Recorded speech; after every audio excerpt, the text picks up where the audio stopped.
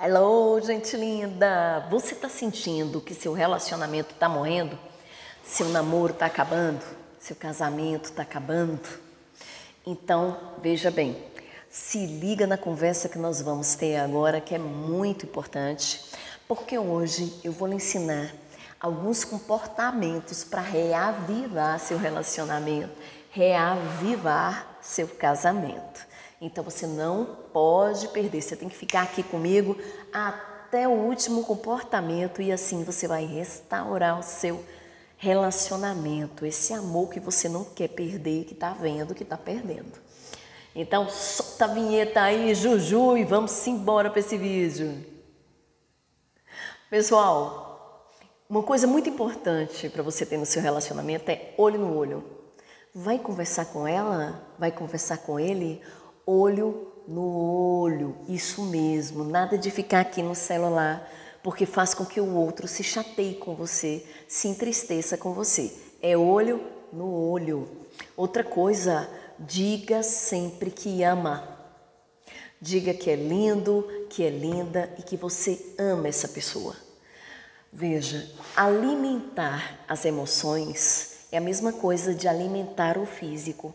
Precisa ser diariamente. Tem gente que só lembra de alimentar o físico e não lembra de alimentar as emoções. Então, alimente as emoções de quem você ama. Diga para seu filho, para o seu marido, para o seu namorado, para sua mãe, para sua família, para os seus amigos. Quando você estiver com as pessoas que são especiais para você, diga isso para elas e diga sempre. Elas precisam ouvir isso sempre de você, tá? Fale eu te amo. Vai sair com seu parceiro, com sua parceira, ande de mãos dadas. E menino, coloque ela sempre virada para a calçada para ela ter uma sensação que ela é protegida por você, que você está do lado de cá porque você é o homem protetor. Converse sobre tudo, fale sobre tudo. Não fale só sobre coisas que te interessem, porque isso acaba gerando tédio. Fale sobre o que interessa a ela. Sempre que for falar com ela, não fale só dos seus assuntos, fale dela também. Escute ela. Senão ela vai começar a ter tédio de falar com você, porque você só fala sobre os seus assuntos, você raramente escuta ela. Então escute ela, participe da vida dela, beije na boca, não deixe o beijo na boca morrer. Tem muitos casais que quando casam só vão direto para o momento do pimba-pimba, da relação íntima e esquecem a importância do beijo. O beijo conecta. O beijo mantém junto, o beijo desperta o desejo, o beijo vai direto no coração, vai direto nas emoções.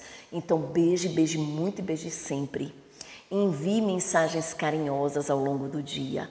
Conquiste. Estar com outro é conquistá-lo todos os dias. Lembre de dar cheiro no pescoço, beijo no pescoço, uma espadinha que eu tô ali, né? Dá aquele ui, arrepio gostoso e faça carinho sempre. A carinho sempre. Eu tenho uma filha adolescente e eu nunca deixo de abraçar ela e de dizer o quanto ela é única, especial e o quanto eu a amo. Então, quem ama, cuida e cuida todos os dias. Então, cuide, demonstre amor para quem é especial para você e eu garanto a você que seu relacionamento não vai morrer.